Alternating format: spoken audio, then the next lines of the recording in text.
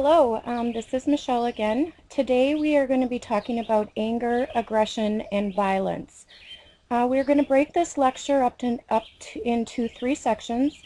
Um, the first section is just going to be about anger and aggression basics.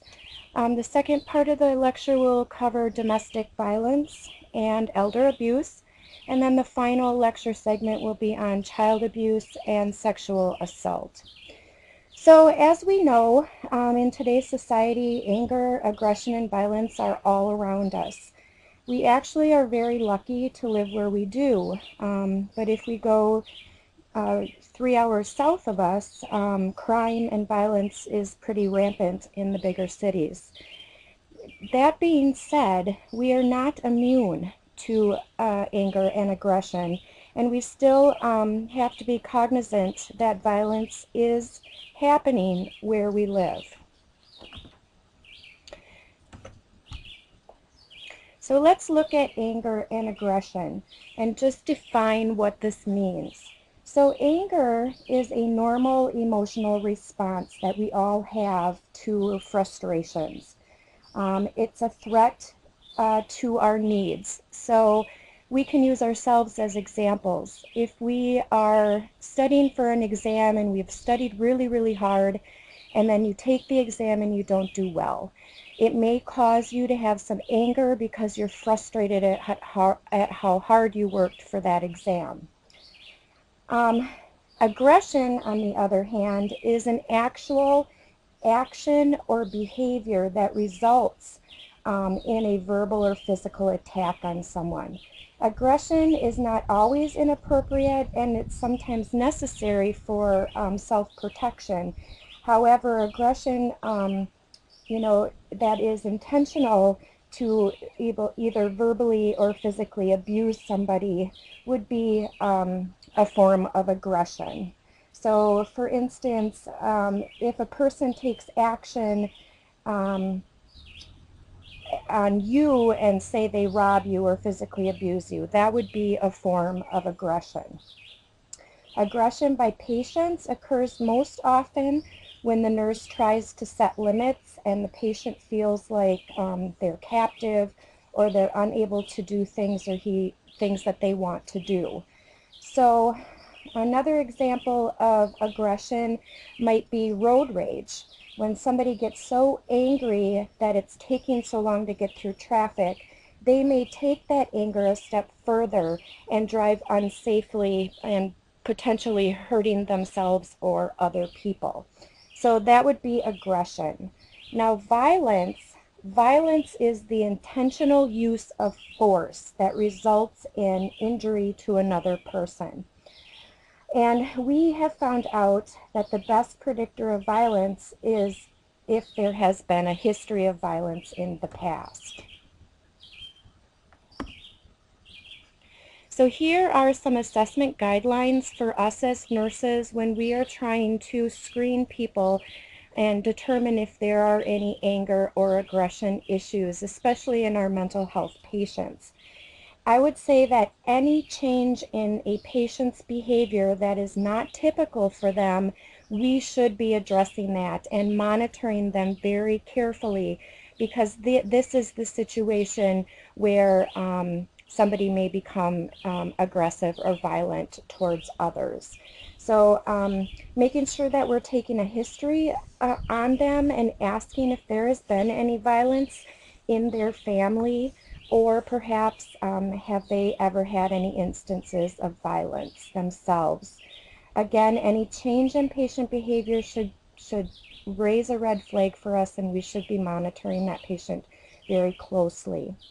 Um, aggression, aggression again by patients usually occurs when the nurse is trying to set limits on them and they feel like they have lost control and become angry and aggressive in response to that.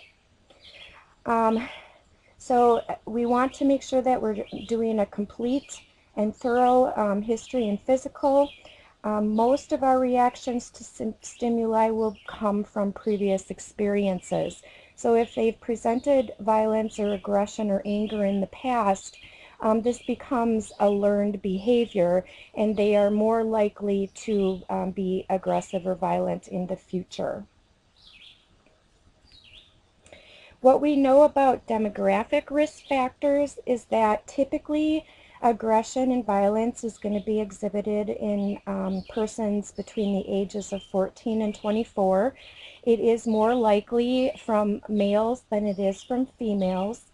Um, we know that low socioeconomic status and inadequate support systems also contribute to um, poor coping mecha mechanisms and the presentation of anger or aggression. So predictors of violence, um, if the patient becomes more hyperactive, if they appear to be increasing in their anxiety level or they, they appear to be very tense, um, if they're talking in a very loud voice, um, sometimes even silence can be a, a, a cue. So if somebody is sitting in silence, they may be stewing about whatever is internally frustrating them or angering them and it could uh, progress into aggression. Um, alcohol and drugs and, and drug intoxication have also been implemented in violent acts. Um, that is probably more so because it impairs their judgment and their impulse control. Obviously, possession of weapons is going to be a high risk. Um, environmentally, we have found that typically if there is a warm environment, um, if the environment is very crowded with a lot of people, these, these um, factors increase a person's stress level and irritability and decrease their predictability. So in these situations, you may have more likelihood of some aggression or violence. And this becomes really important when you're on the mental health unit. And we have several um, people who have some uh, risk factors and um, some inability to control impulses or thought processes all put together on one unit. And so this in itself will precipitate that environment um, to be more volatile. So we have to make sure that we understand that about, about the unit that we're working on.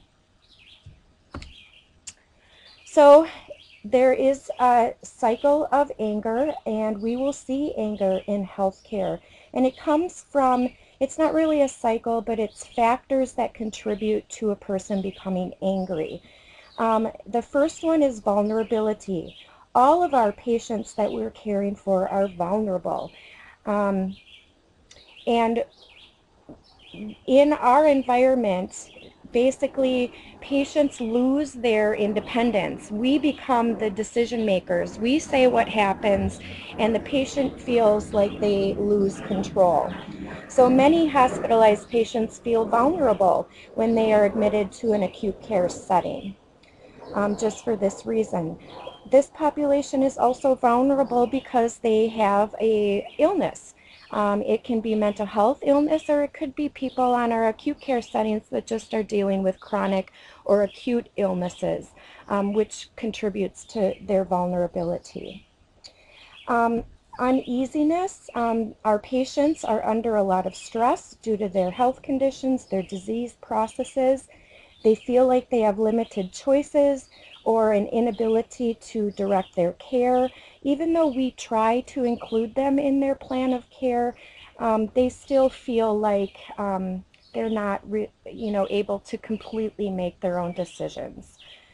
Um, anxiety levels are high. The feelings of uneasiness um, from anxiety with family members and healthcare staff can escalate anger. Um, so anger, if the anxiety gets out of control, it leads to anger. The patient may display shortness with staff, they may yell, their voice may become louder. Those are cues that there is some anxiety and anger uh, surfacing. It will progress to aggression if the anger is not handled appropriately or not um, recognized soon enough and the patient becomes more vulnerable because of the rising anxiety level. And the patient may start to do things like pushing the bedside table away from them or turning over in the bed and turning their back to you. These are all signs that there's something going on. This patient is having some kind of anxiety um, and perhaps would be um, open to being aggressive. Violence obviously would be the end result. The patient has become so angry, um, they are they um, are uh, so frustrated that they may act out, perhaps by hitting the staff or um, harming their family member that's in the room when they can't handle their own feelings. So what can the nurse do to decrease the risk of anger progressing to aggression or violence? So first thing we need to do is we need to do a self-assessment of ourself, okay? We need to reflect on how do we feel about different patients and situations. How would we handle a situation if a patient became aggressive? Um, we need to remember that we need to treat our patients the way that we would want to be treated. So if a patient is rude, how are we going to handle that situation? What is our plan going to be? We, we can't ignore the stimuli. We can't ignore the insults. We have to have a plan of how we're going to deal with it. Our ability to handle stress and anger will hinder or help the patient um, be able to handle their anger and aggressive. We have to be really cognizant of our body language. Our arms crossed? Are we rolling our eyes? Are we just, you know, making short comments to them that indicates we're really not listening or paying attention? So um, we have to be cognizant of that self-assessment of ourself, okay? Then we would want to be making a plan. Um, we need to start with understanding of the patient's medical problems, their stressors, their past medical history. That's going to again cue us into if they are going to be more apt to be uh, aggressive or violent. Um, we have to understand the patient's ability or inability to handle stress and the potential for that aggressive behavior. So um, if something should arrive, what are we going to do? I think the first thing that we need to recognize is that we need to be well versed in what our agency protocol states. So if a, if a patient is showing um, anger, um, inappropriate behavior, progressing to possibly aggression, what does our agency say that we should do? I mean, they, it should indicate when do we call in a second person? When do we call security? When do we use physical restraint? When do we use chemical restraint? This is all going to be mapped out in a safety plan at your um, specific facility that you're working at. We want to make sure that we're listening to the patient and the family concerns and addressing those so that the patient does not get frustrated and, and start the anger cascade. Um, the patient's needs, um, we should reassure them that we are going to do the best that we can to meet their needs or to answer their questions, okay? Do we need to demonstrate that willingness to do good for the patient and show that empathy that we have for them. Uh, communication um, should should have, again, I think we talked about this before, we should have clear guidelines on what the rules and expectations are on our unit. And everybody should, everybody meaning staff and patients, I suppose, um, should uh, follow those rules and everybody should be consistent in that plan. Okay, remember again too that we want to be cognizant of our personal space. Um, therapeutic touch, again, typically is not a good idea with patients that you're concerned might be having anger or aggression or having difficulties um, controlling their impulses, okay? So we want to make sure that we have that personal space far enough away from the person that they wouldn't be able to reach out and um, grab us or, or hit us. And I use kind of a rule of thumb, but an arm's length away from the patient. Okay? Um, we always want to be making sure of our escape route. Are we in a good position in the room in which we could um, exit if we needed to, if the person became aggressive? Okay? Again, remember your body language. Don't be in a position of towering over the patient and giving them the impression of um, us being superior. Um, we should try and maintain that equal level of conversation with them so that it appears um, that we are responsive and equal to them. Um, another strategy might be to, um, uh, let's see, what am I trying to say? Provide for breaks. So um, again, uh, before we kind of mentioned that when we're dealing with people with mental illness, we do frequent short visits with them. And this allows some break time um, for the patient to uh, have some personal space, okay? So, you know, many hospitalized patients, they don't get enough sleep um, because, you know, we're constantly coming in and interrupting them and sleep deprivation, we know, does attribute to irritability and um, anger or aggression. So we just have to make sure that we give some structured breaks where the person can have some um, solitude and some um, personal time.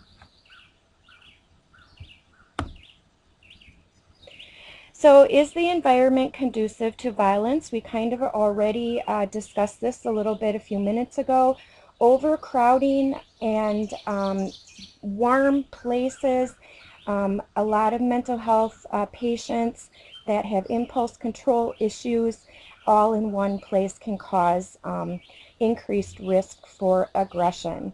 Clients on the mental health unit have a tendency to rally the crowd. Um, so they, they, they um, um, what's the saying? Uh, the majority overrules the, the fewer. That's not the same, but that's where I'm trying to go with this. So, you know, if you have a bunch of mental health patients and they're talking and there's planning, um, they could very easily um, plan for some kind of staff takeover. And so we always have to be cognizant and monitoring that whole population to see if there's any kind of unusual behavior like that going on that we would want to take note of. Um, and if we notice that there are any cliques forming amongst the patients, it would be in our best interest to try and break those cliques up and um, just have them participate in separate activities so they can't um, do this mob mentality uh, planning. Okay. Um, we also could possibly, if behaviors are inappropriate, um, take privileges away. Again, we are already going to have established what is appropriate and inappropriate behavior on the unit.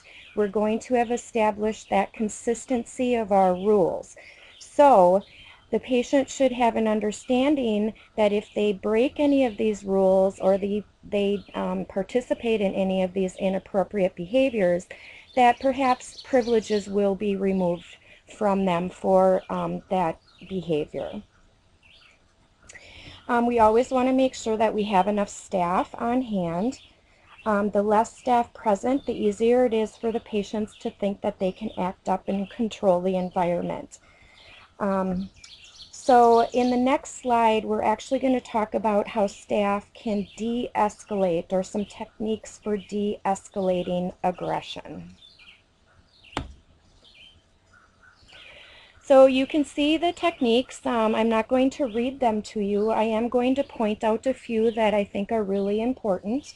The very first one, we need to make sure that we are maintaining the patient's self-esteem and dignity. So if the person is uh, exhibiting inappropriate behaviors, we are not going to want to confront them in front of the whole group and humiliate them. What we're going to want to do is try and coerce them to come off um, to a quiet space and have a one-on-one -on -one discussion uh, with you about the inappropriate behavior. Um, the second one, we always want to maintain that calmness about us and that calmness in the unit. We're going to try and decrease as much external stimuli as we can, and we are going to um, make sure that we are always speaking in a neutral voice. We're not showing any anger or frustration ourselves because that will show a weakness and um, the patients will take advantage of that. If you go down a little bit more, there's one that says establish what the patient's concern is. So they're exhibiting anger and aggression because they need something or something is stressing them out that they're not um, able to address. So when we pull this person aside and we have the one-on-one, -on -one, we're going to want to be communicating with them. We're going to be wanting to ask those open-ended questions and try and determine what is the problem here. What is the stressor or the unmet need that the patient feels um, frustrated with that's producing this anger? And if we can get to the bottom of the problem, resolve the issue, we can de-escalate the whole anger cascade. So the sooner we um, respond, the earlier um, is the better, okay? Communication, as always with our mental health patients, is going to be of utmost importance in de-escalating this anger. We want to speak slowly in short sentences using a low, calm voice. Again, open-ended questions, explore those feelings, um, we want to continue to monitor our protective personal space, uh, watch our body language, and finally provide options um, to the person. So um, we might say, okay, well, this is the behavior that you exhibited. Now, we can handle it this way, we can handle it this way, or we can handle it this way. What would you prefer? and give them some of that sense of control back. And that will also help to de-escalate their anger. Okay? So interventions, again, goal is no harm. No harm to the patient, no harm to ourselves, and no harm to others. Okay? Now, de-escalation doesn't always work, I will say that. Most of the time we can de-escalate through good communication with the person. But if it doesn't work, we would need to progress to these other interventions, which would include pharmacologic, um, possibly seclusion, and the last straw would be to um, uh, apply restraints, okay? Some um, medications uh, that we might give are going to be the PRN medications. Um, and that might be a benzo to try and help calm them down, perhaps an antipsychotic, depends on what's going on. But there are, as you know, some medications that we can utilize to calm the person. We are always going to be wanting to offer oral medications before we would go to an IM injection. Anytime you escalate to IM or IV, um, this is only going to produce more um, frustration and aggression and anger from your patient. So first, you know, offer that oral medication and if you're not able to get it into them, they're not cooperating, and you have no other um, uh, things to fall back on, then you would have to progress to the IM dosing. But it is not preferred, just so you understand that. Um, seclusion would obviously be to involuntarily confine um, the patient in a room alone, okay? Of course, we would be monitoring the patient, but they would actually be isolated in, say, their bedroom or a designated area where they couldn't, couldn't harm themselves. Um, it's not intended to be punishment. It's intended to keep the patient safe um, and others safe, okay? Now restraints again, like I said, would be the last straw. Um, restraints do require a doctor's order. And so we would be needing to contact the physician and get the order to apply restraints. Sometimes, um, depending how violent the patient is, we may actually apply the restraints and then phone the, phone the doctor, um, give him the scenario that happened, the behaviors that were exhibited, um, and what you have done about it so far. He may give you the order to continue the restraints, um, or if he's not in agreement, he may tell you to do something different and remove the restraints. Either or, um, it requires some conversation with the physician. The physician is required to readdress restraint use every 24 hours while they are being um, uh, applied to the patient. Um, our responsibility when a patient is in um, is in restraints is that we have to do frequent monitoring and every two hours at minimum we have to actually release the patient from uh, the restraints and allow them uh, to participate in their basic needs such as toileting. Um, and all of these checks, I think they're every 15 minutes, and the every two hour release of the restraints have to be documented.